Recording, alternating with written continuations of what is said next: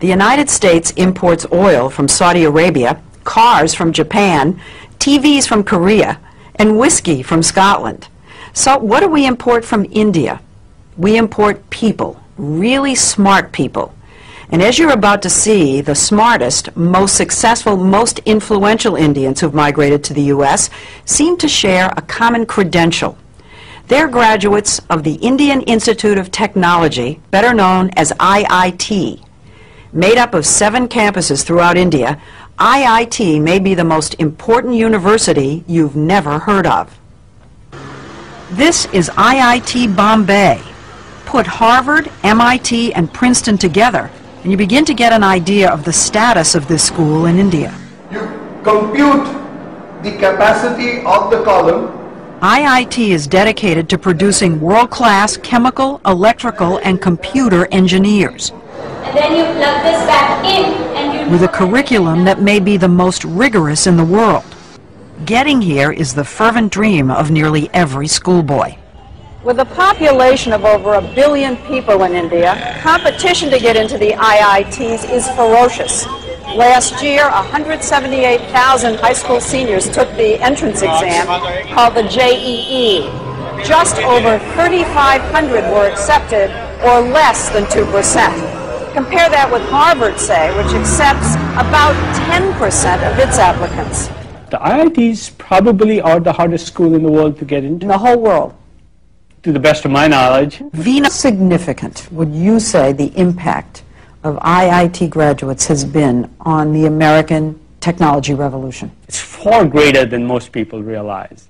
Microsoft, Intel, PCs, Sun Microsystems, you name it. I can't imagine a major area where Indian IIT engineers haven't played a leading role. Leading role.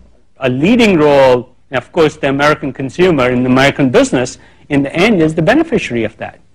It isn't just high tech. The head of the giant consulting firm McKinsey and Company is an IIT grad. So is the vice chairman of Citigroup and the former CEO of US Airways. Fortune 500 headhunters are always on the lookout for that IIT degree. they are favored over almost anybody else. If you're a WASP walking in for a job, you wouldn't have as much pre-assigned credibility as you do if you're an engineer from IIT. 90% of IIT students are male, and the young men we met in Bombay know they're hot commodities. The American companies love the kids from IIT. Thank goodness. That's what we work. That's what we work to. After I leave IIT Bombay, I hope to get a good job. So it can be a ticket to another way of life Yes. Yeah, definitely. and a ticket out of India. How many of you think that you're going to end up in the United States? For a while, I think all of us would be there. Maybe At for some work. stage. At some stage. That's not the way it was supposed to be. I want my country to be strong. Nehru, India's first prime minister, created IIT 50 years ago, just after independence, to train the scientists and engineers he knew the nation would need to move from medieval to modern. He never imagined India would be supplying brain power to the whole world. Would you say that IIT graduates are India's most valuable export? Yes, undoubtedly. N. Ram, one of India's leading journalists, says that because the stakes are so high, a kid starts preparing early. Age 7, 8, 10.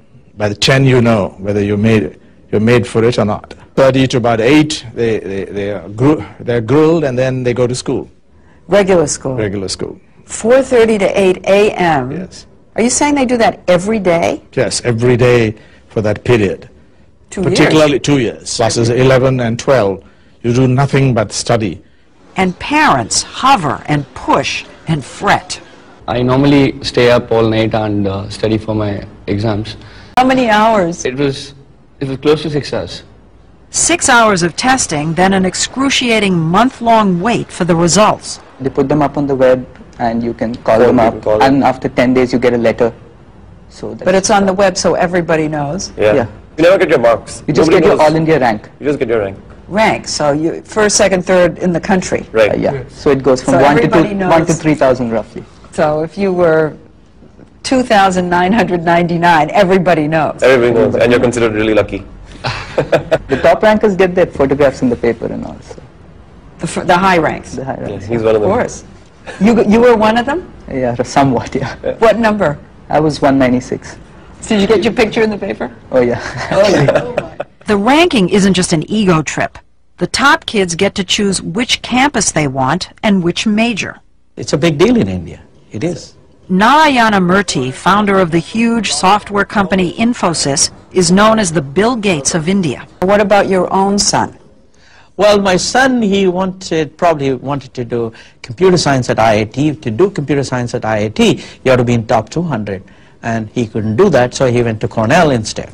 Think about that for a minute. A kid from India using an Ivy League university as a safety school. That's how smart these guys are.